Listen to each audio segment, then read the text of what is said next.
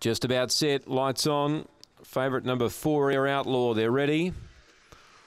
Set to run. And racing, Air Outlaw stepped okay. More speed from Research. Research will lead Air Outlaw. Spring Harbour's over to third. Contour gets to fourth from Wayland Bale and Mally Dreamer last. So Researched on top. Can't cross. Air Outlaws got the rail and now hunts through and takes the lead. Third is Spring Harbour a length away. Then Contour about four to Wayland Bale who's too far back. And then Mally Dreamer. But the Fave Air Outlaw breaks clear now. Three lengths in front of Researched. And Air Outlaw is going to be too good for Researched. Spring Harbour third. Contour fourth. And Wayland Bale uh, it's ran second last and last in Mally Dreamer. The time 30 and 40 odd after race number 10. 30 and 43 for the Fave Air Outlaw. Back to back wins.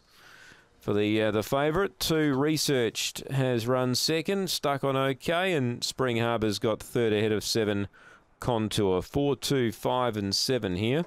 Four, two, five, and seven, and the margin is four and three quarters by a half. Thirty and forty-three the run. After race ten, it's four, two, five, seven.